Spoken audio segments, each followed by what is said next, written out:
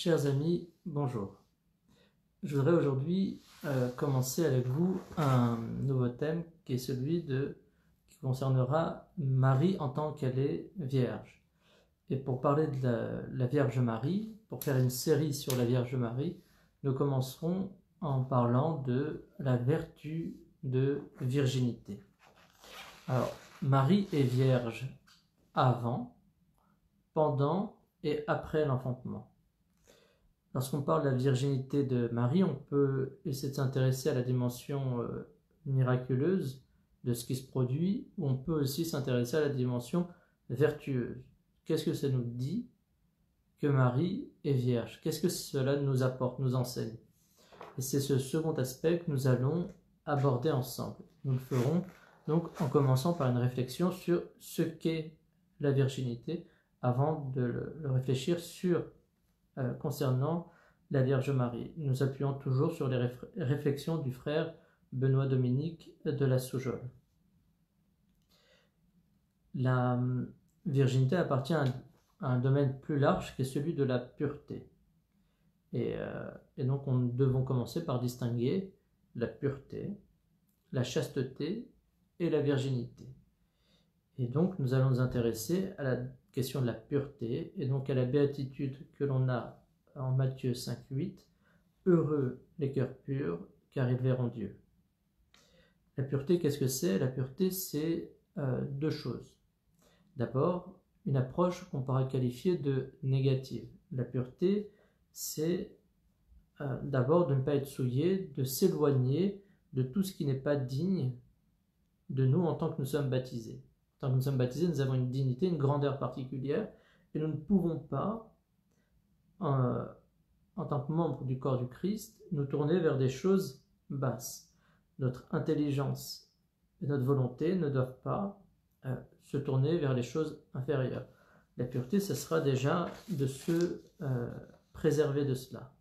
Donc ça touchera le cœur et non pas l'extérieur, ce qui rend Impur, ce n'est pas ce qui entre dans la, bouche, mais ce qui en sort. Ce sera une, une question euh, de cœur. Prenons un exemple. Une activité commerciale n'est pas en soi impure, mais elle peut l'être si notre cœur est pris par les désirs du gain, etc. Une deuxième approche de la pureté est une approche plus positive. Il s'agit pour l'âme d'être tournée vers le haut, d'être tournée vers euh, le véritable bien Dieu, tourner notre intelligence, notre volonté vers Dieu. Euh, il s'agit d'une adhésion totale de notre être à Dieu. Ce sera, ça, la pureté. Et elle se fait au moyen des trois vertus théologales que sont la foi, l'espérance et la charité. La foi va consister ici bah, à purifier notre intelligence sur les erreurs et l'ignorance qui concernent Dieu, puisqu'il y a une forme d'impureté dans les erreurs et l'ignorance à l'égard de Dieu. Ensuite, l'espérance, il s'agira de mettre notre attache non pas dans les biens terrestres, non pas sur les choses terrestres, mais à nous attacher à Dieu, à nous tourner euh, vers Dieu. Enfin, la charité ou l'amour consistera à aimer Dieu et à aimer les êtres mais par exemple les personnes qu'on connaît, un homme qui aime sa femme, une femme qui aime son mari, des parents qui aiment leurs enfants, mais les aimer en vue de Dieu. Que cet amour-là soit comme prenne sa fin, son but, en Dieu.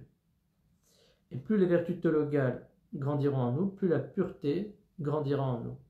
Ce mouvement vers le haut est ce qui nous pousse à nous éloigner euh, de ce qui nous diminue, de ce qui nous euh, abaisse et qui touche notre dignité de fils de Dieu. Ce que Saint Paul dit en Colossiens 3, 1, 2, vous êtes ressuscités avec le Christ, recherchez donc les réalités d'en haut. C'est là qu'est le Christ, tendez vers les réalités d'en haut et non pas vers celles de la terre. Après avoir vu cette approche sur la pureté, intéressons-nous à la chasteté et à la virginité.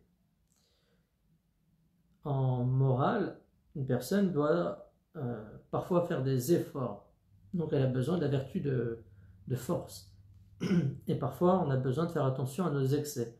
Donc on a besoin de la vertu de tempérance. dans ce qu'on appelle la vie euh, sexuelle, celle-ci elle est menacée par l'excès.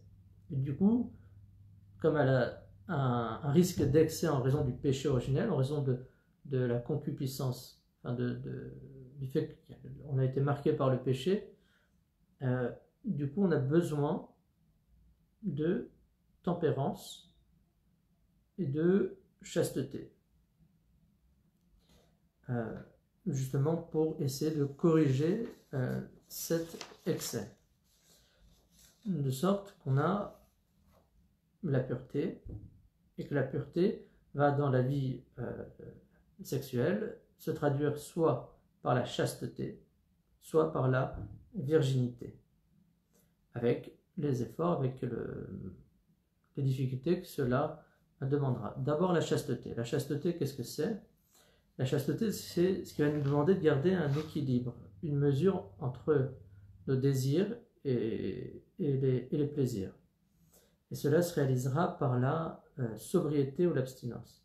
C'est-à-dire celui qui est chaste va soit essayer d'avoir de la mesure, euh, soit à un moment donné euh, de s'engager à ne plus s'orienter vers le, une vie qui serait marquée par la, qui serait avec des, avec, des, actes sexuels.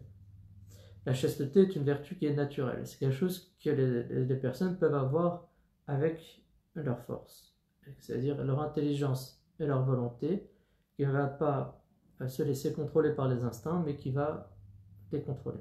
Contrôler euh, nos instincts, contrôler ce qui nous tend vers, euh, vers ce qui serait euh, moins élevé. Toutefois, en même temps, elle a besoin de la grâce, c'est-à-dire de l'aide de Dieu pour être préservée, pour être élevée c'est aussi vraiment le genre de domaine on a besoin de la grâce, de l'action de Dieu. À côté de la chasteté, vous avez donc la virginité. La virginité, il s'agira d'une abstinence totale, perpétuelle. Ici, il faut bien noter qu'elle est en vue de Dieu, sinon ce n'est pas, pas la même chose. La virginité est toujours en vue de Dieu, de vivre de Dieu, par Dieu et pour Dieu. Et c'est parce qu'elle est totale et en vue de Dieu qu'elle est exceptionnelle. C'est ce caractère total de don de soi qui fait qu'elle est, située juste après le martyr dans, euh, dans le, les degrés de, perfection que, nous propose l'Église. De certaine manière, elle anticipe la vie euh, des bienheureux. C'est pour ça que souvent on associe virginité et martyr. Pour conclure, on a donc la pureté, qui nous demande de respecter notre intégrité baptismale, pas tourner vers les choses qui sont plus basses, et en même temps qui nous tourne vers Dieu, avec les vertus théologales.